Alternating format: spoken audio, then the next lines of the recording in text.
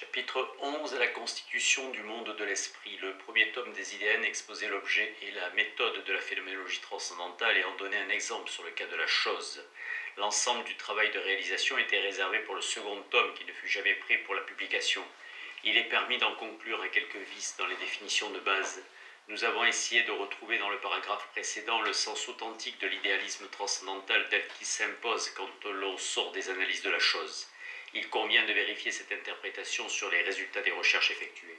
Le tome 2 des IDN comprend trois parties correspondant aux trois régions fondamentales nature matérielle, nature animale, monde de l'esprit. La première reprend avec plus de détails la constitution de la chose dont nous avons déjà parlé à propos du premier tome. Sur la matérialité comme couche fondamentale se constitue la vie animale.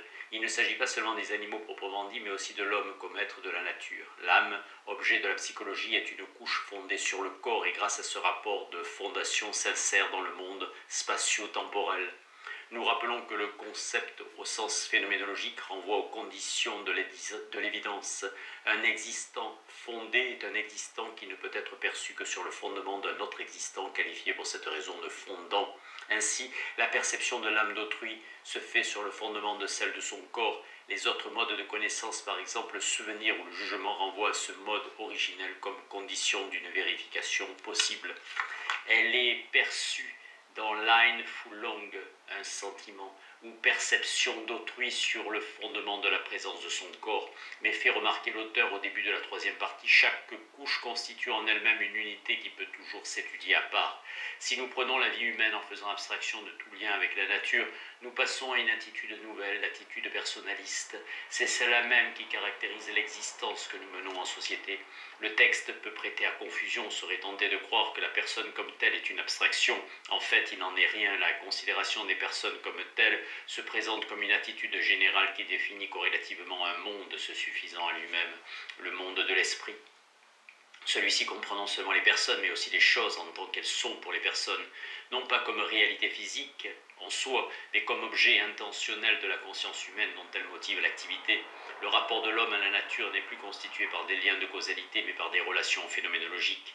Les choses ne se définissent pas pour moi par leur propriété physique, mais par leur aspect vécu avec leur prédicat de valeur et d'action. Elles ne sont pour moi qu'en tant que je les perçois avec le sens qu'elles ont pour ma vie effective, et tout leur être spirituel consiste en ce sens.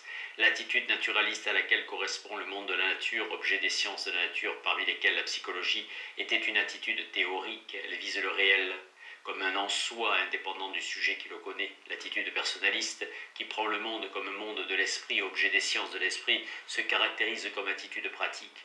Le réel n'a de sens que dans ses relations avec le sujet concret dans sa vie effective. L'être se définit comme être pour moi non au sens spéculatif, mais au sens pratiquement vécu. Les personnes n'apparaissent plus maintenant comme des réalités psychiques fondées sur des corps matériels, ce serait revenir à l'attitude naturaliste, elles surgissent comme des sujets que je perçois dans l'expérience de la compréhension. L'autre moi est comme moi sujet d'un monde qui n'est que par lui et qui n'est qu'en tant qu'il est pour lui. Et je comprends du même coup que ce monde est le même que le mien, que nous vivons dans le même monde.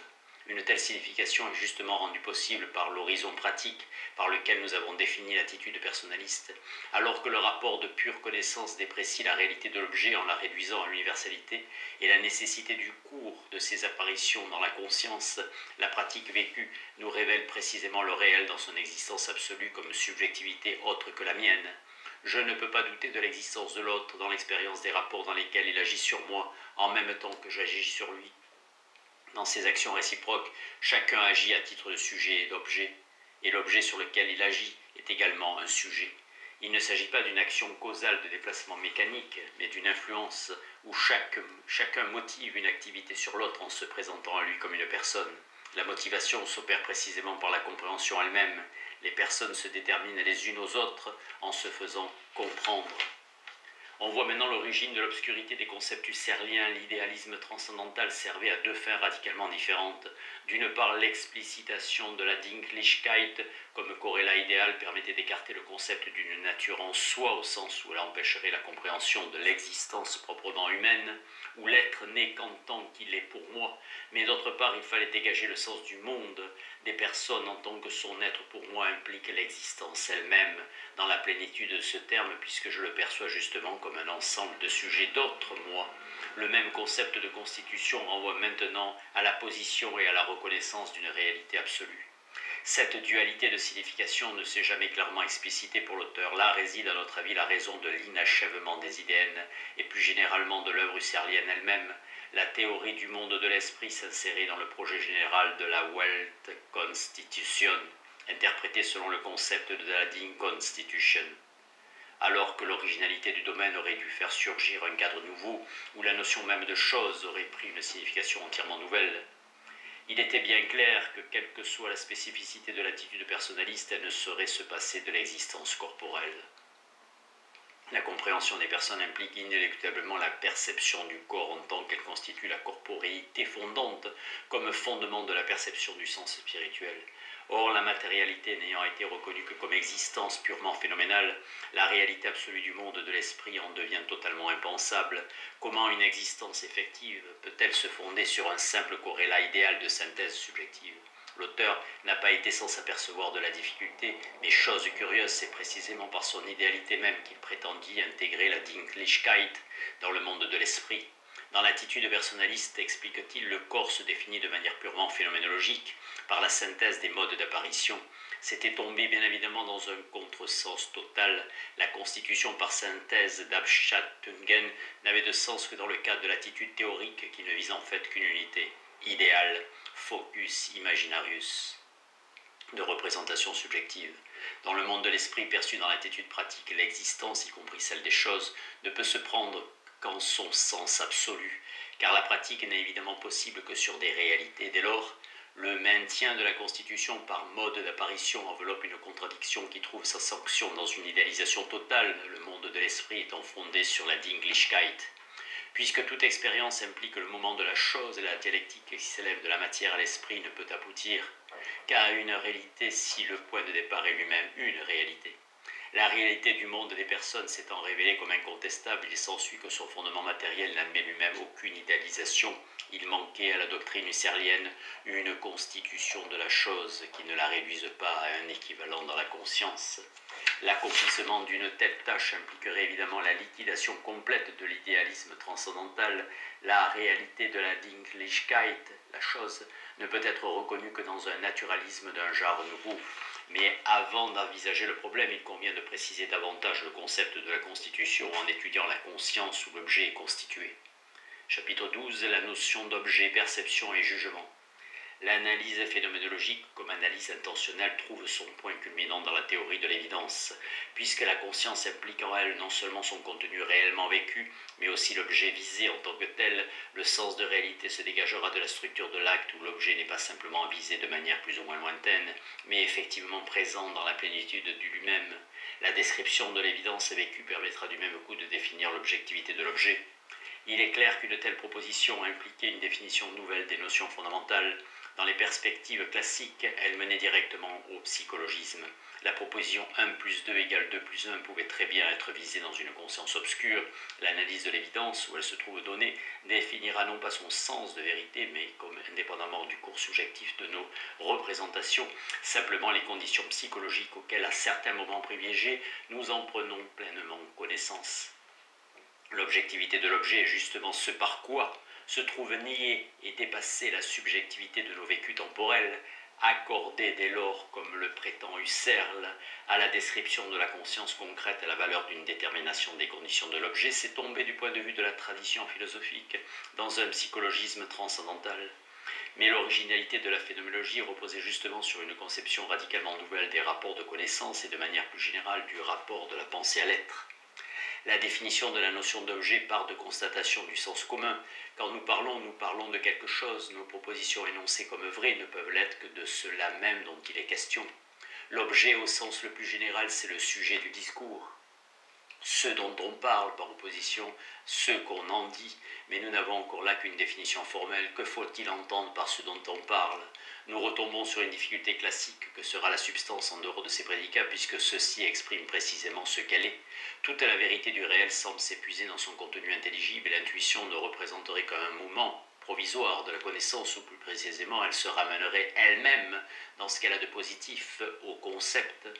Mais alors le problème de la connaissance se place immédiatement sur le plan de l'universalité, les conditions de possibilité de l'objet étant déterminées non par le vécu de l'évidence immédiate, mais par les structures intelligibles de la prédication. Mais comment l'homme, dans sa temporalité et sa finitude, peut-il s'élever à une vérité comme d'autre part cette vérité définie par l'universalité et la nécessité du concept s'attribuera-t-elle légitimement à la réalité des choses données dans l'expérience? Telle est la double aporie à laquelle la pensée traditionnelle n'a pu répondre que par des solutions verbales revenant toutes sous une forme plus ou moins modifiée à la mythologie de la participation. Le mérite de Husserl fut d'avoir posé le problème sur le plan du concret, permettant par là même un progrès méthodique dans sa compréhension. Ce dont on parle, l'upokeimenon, n'est pas un simple substrat vide et indéterminé, et l'objet lui-même tel qu'il se présente dans l'évidence antéprédicative de la perception. De cette table, je dis qu'elle est petite, le contenu affirmé, à savoir que la table est petite, renvoie à ce dont il est affirmé à savoir la table elle-même donnée dans l'expérience. Seule la perception de la table permet de vérifier ce jugement qu'elle est petite. Il convient de préciser, il ne être question de faire du jugement une copie de la perception, ce serait revenir aux absurdités d'un empirisme depuis longtemps dépassé. Personne ne se longera non plus à nier que les perceptions de l'homme civilisé n'impliquent une infinité de significations prédicatives plus ou moins sédimentées, mais l'expérience perceptive comporte un noyau antérieur au jugement qui ne se laisse pas ramener à une rhapsodie de sensations, mais constitue précisément le premier sens de l'objectivité. De manière plus générale, l'objet de la perception, même dans ses déterminations intelligibles héritées de prédications antérieures, se définit par une actualité qui l'oppose de manière irréductible à l'idéalité de l'objet du jugement. Ainsi, la perception possède une structure originale sur laquelle se constitue le jugement. Loin que le concept domine la synthèse des intuitions, c'est toujours à l'intuition que doit se référer le concept en tant qu'un prédicat ne peut s'énoncer que comme prédicat de cette chose même dont il s'énonce. Sa vérité renvoie nécessairement à une vérification où le jugement se constitue lui-même comme évident sur le fondement de la perception de la chose. Quelles que soient les difficultés que n'a pas manqué d'éprouver le lecteur habitué au texte classique, elles ne doivent pas faire méconnaître la fidélité de la description, les notions sont prises dans leur sens originel, telles qu'elles jaillissent devant le regard du phénoménologue. La théorie de la perception comme antérieure au jugement et le fondant dans sa valeur de vérité a été constamment exposée, reprise et développée des Logisk Untersuchungen aux écrits de la dernière période. Elle dépasse le cadre des problèmes propres à la logique et à la théorie de la connaissance et définit l'inspiration phénoménologique elle-même, résumée dans le mot d'ordre fameux retour aux choses mêmes, zu den selbst, aux choses elles-mêmes. Ces choses doivent s'entendre comme cela même qui se donne antérieurement au concept dans une perception au sens le plus large de ce terme, comme l'intuition originaire, à laquelle il faut toujours revenir pour vérifier et corriger nos constructions conceptuelles. Pour caractériser l'originalité de la perception par rapport au jugement, nous nous reporterons à la structure des contenus qu'il vise. L'objet intentionnel posé dans le jugement, l'état de choses, sar, ver, halt, est une signification idéale, par exemple, que la table est petite. En énonçant cette proposition comme vraie, nous l'affirmons comme valable pour tous et pour toujours. Encore qu'il ne s'agisse en l'espèce que d'un jugement occasionnel, dont la vérification n'est possible que dans l'horizon d'une situation historique déterminée, le sens n'en constitue pas moins une pure idéalité qui renvoie à une universalité de droit. La table ne peut, disparaître ou se modifier, mais qu'elle soit petite en ce moment, c'est là une vérité qui appartient à l'essence de la vérité de valoir universellement et éternellement. En d'autres termes, l'objet proprement visé dans le jugement de l'état des choses est un objet idéal qui ne se trouve ni dans l'espace ni dans le temps, puisqu'il est le même pour tous et pour toujours. Il en, est, tout autrement pour l'objet donné dans la perception. Je perçois la table dans son existence comme contemporaine de mon existence. Après sa destruction, je pourrais encore en juger, je ne pourrais plus apercevoir. Un jugement vrai peut toujours en principe être énoncé à n'importe quel moment et par n'importe qui. Il appartient à l'essence de la perception de ne pouvoir se réaliser que dans un sujet effectif. L'actualité du donné intuitif est essentielle à la conscience percevante, en tant qu'elle ne peut saisir à chaque instant qu'un certain nombre d'objets ceux-là même qui surgissent dans son champ de présence, alors que le système total des vérités conceptuelles se trouve accessible en droit à tout moment au sujet de la connaissance prédicative. L'objet de la perception est cet objet singulier, unique dans son existence. Sans doute la conscience intuitive n'est-elle pas réduite à l'instant présent comme tel.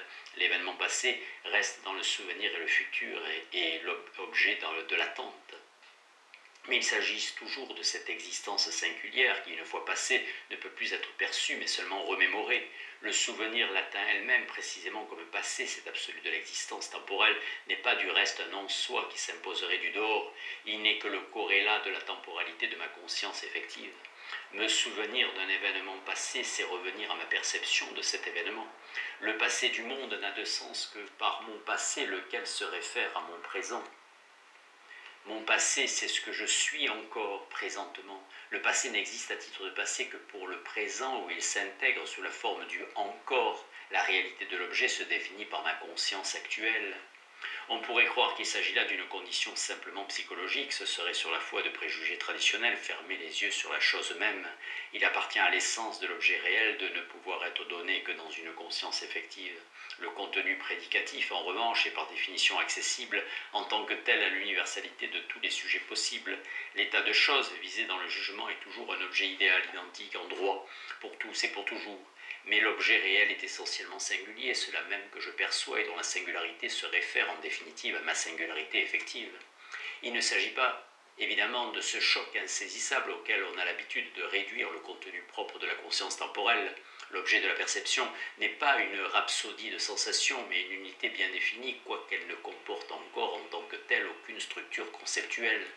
Ces configurations ne se réfèrent ne se réfère qu'à des activités antéprédicatives qui se diversifient en fonction de la situation vécue des sujets effectifs.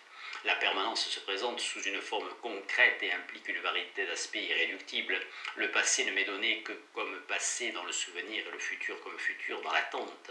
Une scène que je n'ai pas vue peut m'être racontée, mais elle ne m'étonnait précisément que dans le récit qui renvoie lui-même aux perceptions des témoins. Il s'agit non d'une universalité abstraite, mais de la totalité des consciences effectives en tant qu'elles constituent un même monde. Le monde de la perception ou monde de la vie, Lebenswelt, implique nécessairement une subjectivité et une relativité qui ne supprime pas sa réalité mais en définissent le sens. C'est l'univers toujours présent des choses réelles données dans l'expérience de la vie qui forme le terrain Boden sur lequel s'édifient les constructions de la science. La négation de l'intuition naïve dans la vérité scientifique part nécessairement de cette intuition elle-même et c'est la référence vécue à ce fondement toujours vivant qui permet à la vérité de se poser comme vérité de ce monde. Il serait donc fou de renvoyer la subjectivité du monde de la vie à la psychologie.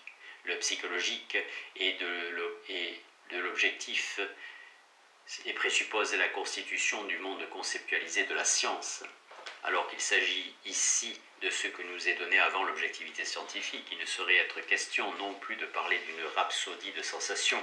Le monde de la vie se présente comme un horizon d'objets qui ont leur structure propre, une spatio-temporalité, une substantialité et une causalité qui n'ont encore rien de scientifique, mais n'en impliquent pas moins une cohérence et une unité effective. C'est cette unité mouvante et relative qui caractérise la vie que nous vivons tous et à laquelle renvoient irréductiblement les idéalisations de la pensée théorique.